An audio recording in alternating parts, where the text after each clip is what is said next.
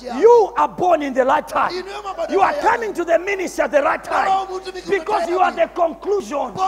Conclusion of what happened started some years ago.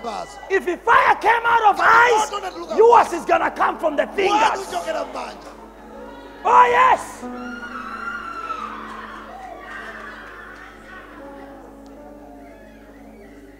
You can't make the end worse than the beginning. That's not the way God works.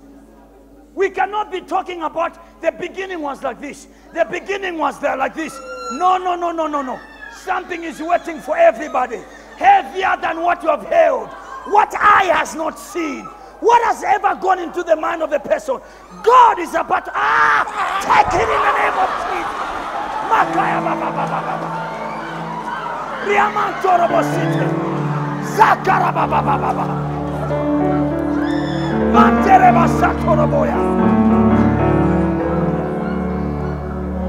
Oh yes.